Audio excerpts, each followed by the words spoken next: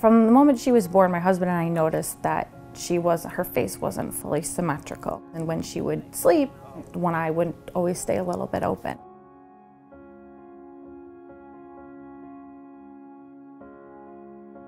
They kept asking me, well, what, what could we do for you? And I, you know, I just said, you know, I, I really need the names of people who specialize in this and do this all the time.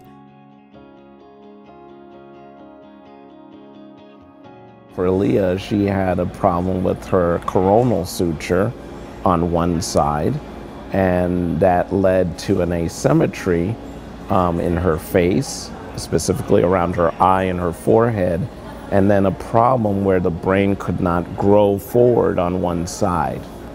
Though there's certainly a lot of nuance in how to put the head back together so that there's enough room for the brain and that there's none of that asymmetry left.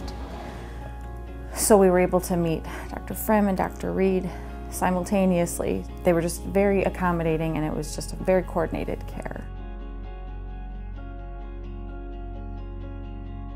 With craniosynostosis, a child can have developmental issues, vision issues, appearance issues, neurologic issues, airway issues, and therefore there's a need for different specialists to intersect and provide holistic, comprehensive care. So on the majority of cases, Dr. Frim and I come together in the operating room.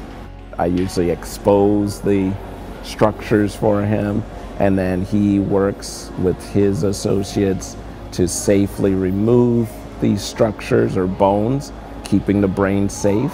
And then I will reshape the bone and put them back together. So give the brain some space for future growth. Anytime you can group together a bunch of people who are aiming for the same goal and have different views, different expertise, and can combine that is going to provide for a better outcome.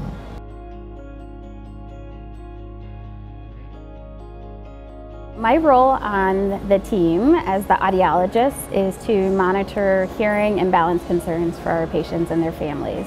We can come up with one treatment plan for our patients. It's really powerful to have an answer, um, to have uh, an explanation for why uh, your child has um, craniosynostosis or a cleft. The role of genetics in the CAMP program is to sort of provide support for thinking about whether there could be a genetic cause for uh, clefts um, and other craniofacial differences. In Leia's case, again, you know, it involved complex surgery, keeping the brain safe, keeping the eyes safe.